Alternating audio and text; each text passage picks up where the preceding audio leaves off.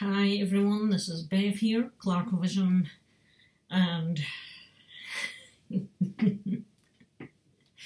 I'm just feeling quite happy. Um, the postman delivered a grail in the mail today, that's why. Um, and I've been so excited. I've just it's just come off the turntable right now because it's about to get shown at the end of this video. Um, but yeah, um, I've been wanting this particular record for a while and uh, it, it, it, finally arrived basically. um, so this is basically just a vinyl update. Um, I'm trying it with the main light off and the back lights on and the desk lamp here. Um, it's still daylight outside but it's still kind of rubbishy rainy. Um, so I'm hoping the lighting's okay as far as seeing things go. Um, we'll see. So, um, this is just an update and it's just vinyl only. There is no CDs in this one. Um, there's about eight altogether and um, just what I've kind of grabbed uh, over the past two to three weeks maybe. Uh, since my last update was I think about three or so, maybe four weeks ago, something like that. Um, uh, and they're basically, they're all, yeah, they are all from online places, um, a mixture of eBay, Amazon and uh, Discogs for a couple. Um, so I'll just get on with it. Um, first one was a cheap eBay find. Um, you can pick this up fairly cheap um, and it is, you probably won't see that too well, it's The Tourists. And uh, Reality Effect is the name of the album. Now this is not really metal. I think I'm actually going to put that big light on, just bear with me a second.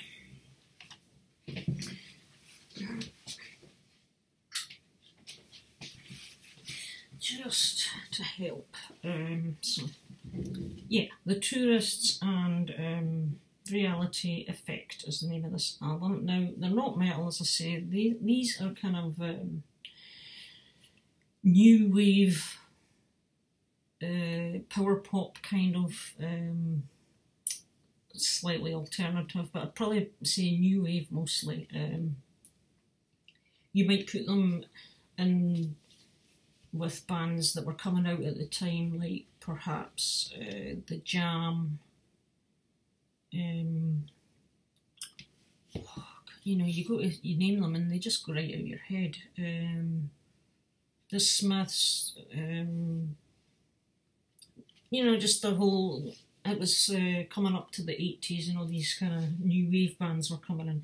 Um, this particular record is 1978, is it? Doesn't actually say on the back cover, but it does say on the record.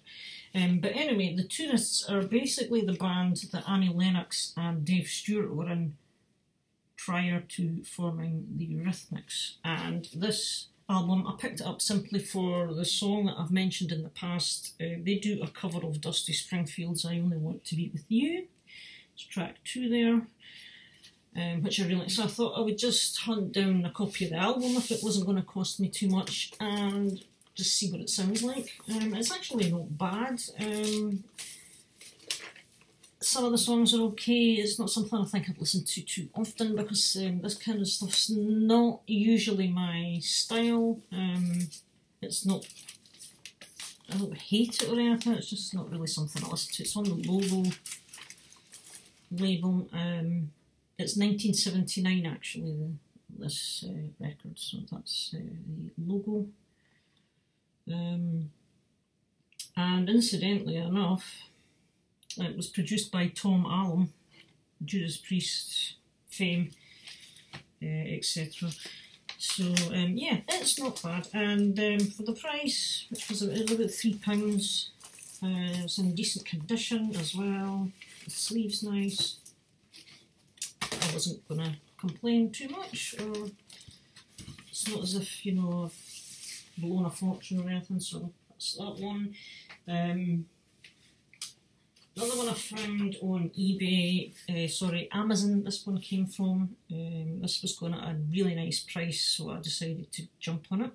Um, and it's another Powerwolf. Um, this is their second album, um, which was only originally released on CD and it was remastered and reissued on vinyl in 2017. This one is on Metal Blade. Uh, it says mastered for vinyl in May 2017.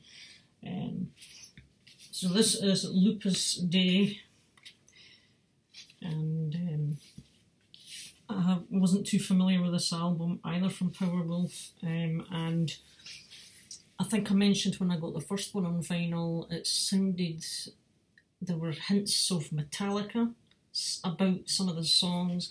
This one, not so much. This is more sounding like Powerwolf's own style and what they kind of were going on to become now. This is a bit more similar to what I'm used to from Powerwolf, and so I really enjoyed this. Again, it's got some quite strange, dark um, uh, song titles, you know. Uh, we take it from the living Saturday Satan, um, In Blood We Trust, Vampires Don't Die, When the Moon Shines Red, Mother Mary is a Bird of Prey, and on and on. And of course, um, we've been on Metal Blade. This they do nice packages. This comes with uh, polylined inners. So there's the hype sticker there. Um, it's 180 gram.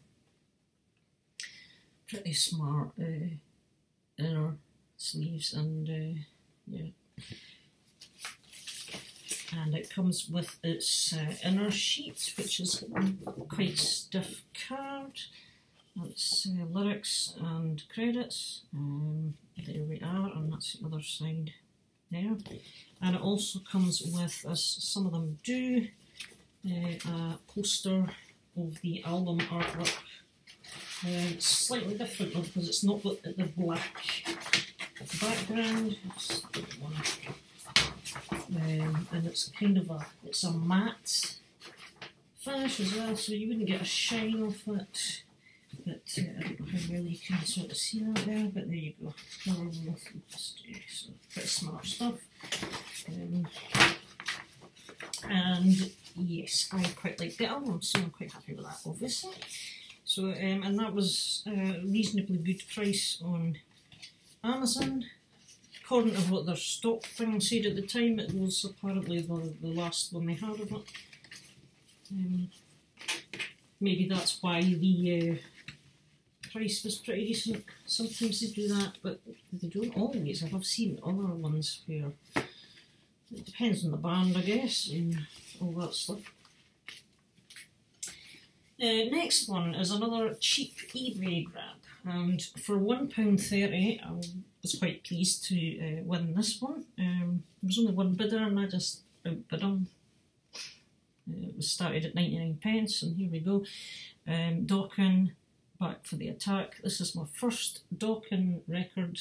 Um, I thought I do want to kind of listen to them, give them a try because in a similar way to Ratt, um, I didn't really follow them, I feel like, too much in the 80s. I knew they were around, I had heard the odd song, but hadn't really studied them properly.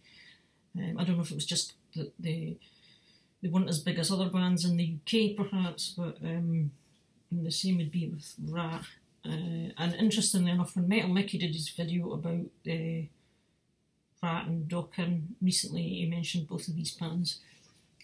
I thought his comments were interesting because at the time I was just listening to Dokken at that same time, so um, I thought, okay, right, that's what he thinks, um, and it'll be interesting to see what I think as well. Um, so this is in lovely conditions. You know, the cover's nice. The inner sleeves uh, intact. There's no splits or anything. Just a little bit of handling. Um, and its own Elektra. I better just move my uh, keyboard out the way or I'm liable to cut myself here uh, Elektra, uh, and yeah, it's in quite nice condition. Um, there is a few kind of surface scuffs on it here and there, but it pretty decent. Um, and so I've had a couple of listens to this, and I actually quite enjoy it. Um, I prefer this a lot more um, than Out of the Cellar, which I have um, by Ratt. Um, just my personal preference, but I uh, much preferred this right away. Um, I think perhaps Don Dokken's vocals appeal to me better. I just prefer his voice. Um, I seem to prefer the guitar work of uh, George Lynch. Um, from what was here and there.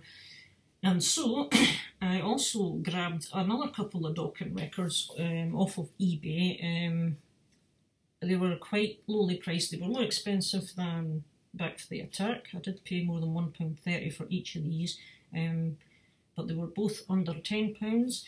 And um, getting two for the same seller, I was going to get a deal on shipping as well. Um, so I picked up Under Lock and Key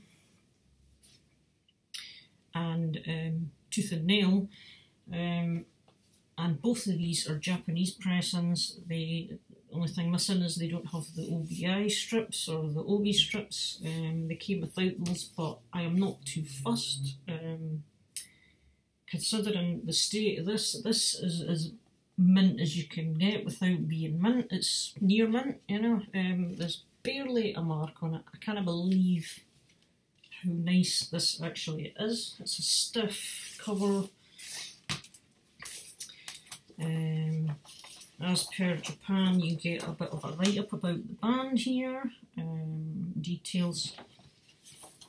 Uh, and here is your inner sheet, which I guess might have been the inner sleeve um, if it was the, the British version, or the European or US version, maybe. And uh, lyrics. And, uh, you know, the vinyl itself I wondered if they were promos at first when I saw, again it's Elektra, but it's white label with the kind of black and red in a smaller circle, the logo. But they're not promos, um, they're just made in Japan, regular issues. Um, but this doesn't even look like it's been played. There is not a mark. I think, is this the one where I spotted one tiny little surface mark? I can't even see it but on one of them I detected one scuff. Um, and you know, and it's just absolutely beautiful condition. Um, so I've listened to Back for the Attack about two to three times. I've listened to the other two just the once because they only came in the other day. Um, again, I quite enjoyed them. Uh, this Under Lock and Key I thought was very good. Um, Tooth and Nail, this one was my least favourite of the three that I've listened to so far. Um, again, it's a Japanese pressing, just minus the OBI. And again, it's in fantastic, fantastic condition. Um, it's the, the back, again, stiff, crispy sleeve. Same details inside, uh, another in our sheet with details. Um, the, in our sheet with the lyrics and the band. And again, it's exactly the same uh, label, the white label with the black and red, Elektra. And again, just like the other one, spotless condition absolutely spotless. I can't, you know, they must never have been played much, these two. Um, I'm assuming that whoever bought them at the time, they, probably just tossed the OBI strip off as part of the unwrapping stuff. Um, I will admit, when it comes to the Japanese ones, I prefer to have the OBI strip, especially if it's, you know, like a, a band I really like, like Primates or, or Def Leppard or Iron Maiden even. Um, so I do prefer to have it, but if they're not there, it's not the end of the world. I'm still happy to have the, the Japanese pressing. So out of the three so far, I would say Tooth and Nail was my least favourite. I thought this was more on the similar lines as Ratt's Out of the Cellar. Um, but I think, is this the earliest one? 1984? I think this is the earliest out of those three. I think other one's 85. I know Back for the Attack's 87. Um, so it's possibly that, I don't even know, is this their debut, Rob? Um, or anyone? Um, that this maybe they, they got a bit better after releasing this one. Um, but I I feel that Dokken from the three there, there's a progression of getting sounding better as they went, um, and I just preferred their music. Um, so I uh, I think I'm going to be hanging on to these records. Um, so I'm quite pleased with that. Um, then another one which was on my want list, and it's been one I've been looking around for for a while, and I came across this on eBay from a seller in Germany because um, you'd be hard pushed to find it anywhere else. I think you you might get it somewhere else, but um, I think Germany would be your your best bet for finding it. And I don't know how many people have ever heard of this band. Um, I'm not too familiar with them myself, but it's a band called No Trouble. Not Trouble. I know there's a band called Trouble. This is a different band. Uh, no Trouble. And this is their debut album, and it's titled Looking for Trouble, which it doesn't say on the front, but it is on the spine. Uh, looking for trouble, and you probably won't can read that, no doubt. Um, and it is on the back as well. Looking for trouble. Um, it's in excellent condition, so I was happy about that. It is a German pressing. Um, that must be some kind of price code sticker there, I think. And it comes on Hot Blood Records, a label I'm not familiar with. Just a plain inner sleeve. Um, in very nice condition. Um, again, there was a few marks on it. And this record was quite dirty when I got it. There was a lot of stour. So I'll give it a good clean, or so I thought. And uh, by the time I got to the end of side one, when I went to change it over, I noticed a big ball of fluff stuck to the the, the needle and the stylus there. Um, so I thought, oh my god. So I uh, cleaned all that up and gave it another clean. And I'm thinking maybe it's been stored for a while and it's some of the dust's just got ingrained in a little bit. But generally, it plays very well and I don't know, you probably call these guys um, second tier metal band or something. Um, they are a German band. This came out in 1980. I think it's 1985. It's not actually dated anywhere on this record. According to Discogs, I think it's 1985. Um, and it's kind of just like the, the, traditional 80s metal that was coming through. Um, second tier style. Um, quite melodic. Um, there's a good bit of guitar riffs going on here and there. I still to decide how much I like it because I know when I first heard this on YouTube a while back, I liked it enough to want to put it on my wants list. But then that was quite a while ago, and listen to it now, I'm thinking, did I really mean to, you know? So I'm going to give this a few more listens uh, and see how I go on with it. Um, it's not too bad. Uh, the other th interesting thing about this, um, the uh, this is side A here. The track listing on the actual label here is correct, whereas the track listing on the back sleeve here is all jumbled up. They're all completely out of order and on different sides and all the rest of it. Um, so that confused me at first. when I was listening, but um, not too bad. I was quite happy to find it, but uh, I need to give myself some more listens to that one. Right, second last is an essential. I finally got around to ordering, um, and I got this off Amazon as well, and partly because I had a voucher, so I put it to good use. I thought this has just got to be ordered.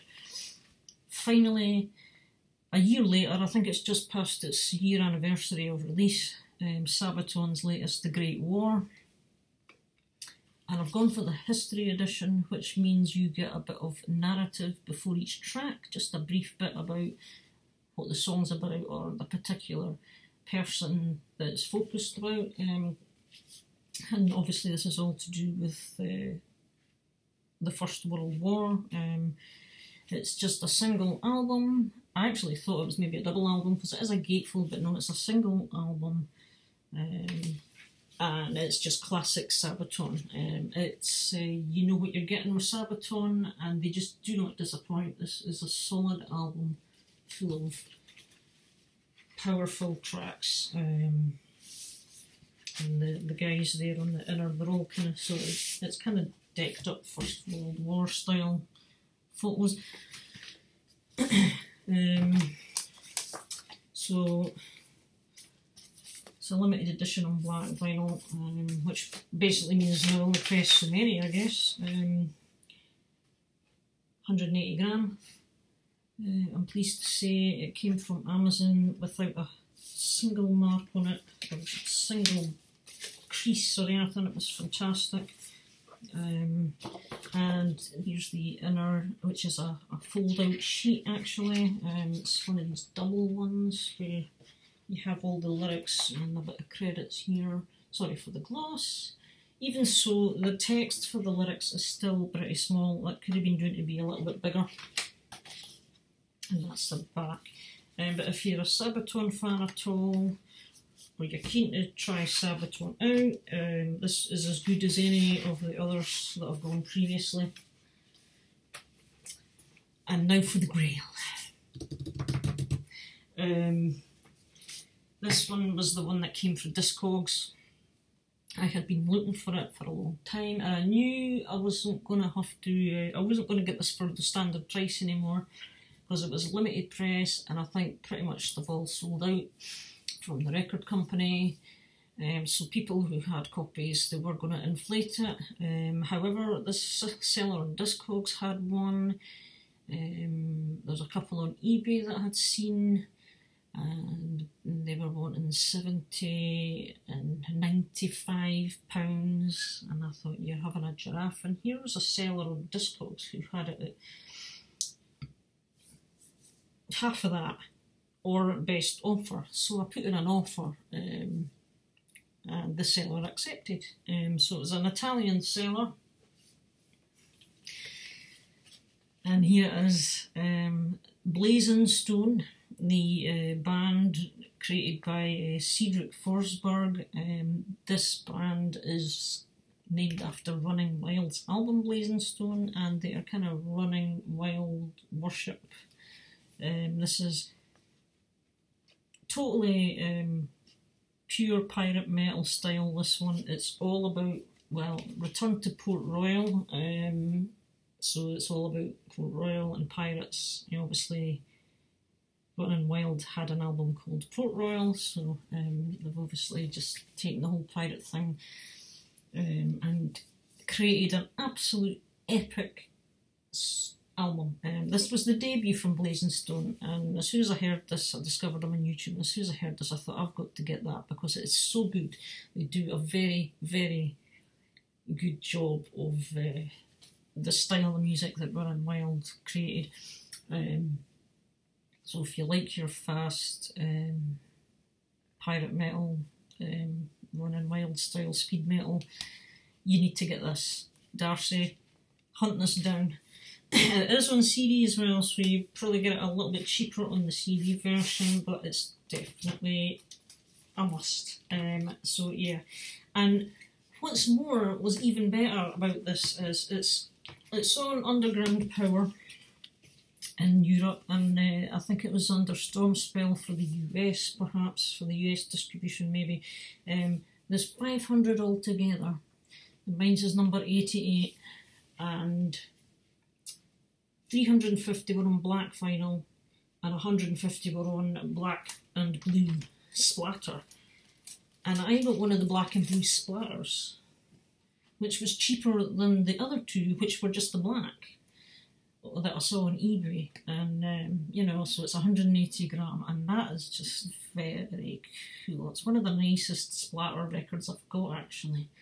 Um, I'm not overly keen on all the splatter colourings, but I think this one's pretty smart, I have to say. Um, absolutely, and it's new condition. There's a couple of surface marks, but I just think that's probably down to it being in the inner sleeve. So when I took it out, there was like a tiny little bit of uh, a, a speck of blue. I think it was just a speck of wax that had broken off the record, maybe. And I just wondered if that's maybe scratched it on the inside and there's a, a, a light scuff, and I think that must have been what that was. But it doesn't affect the play, thank God. And the inner sleeve's nice and stiff. Lyrics, credits, outer sleeve is so cool. Um, I'm absolutely over the moon to have this. Um, I have three other Blazon Stones. Uh, I want to get everything. I think I've got two or three more to get. Uh, I know there's a live one, there's an EP, uh, there's another album I need, so um, it's either three or four more maybe. But so happy, so happy. I think this is going to have to go on again actually. So that's me, and here we are babbling away. So um, thanks for watching. Um, and I'll speak to you in another video and I've just put up a room tour video so if you haven't checked that out yet go and have a look and you'll see a better uh, detailed account of this place I'm sitting in. Uh,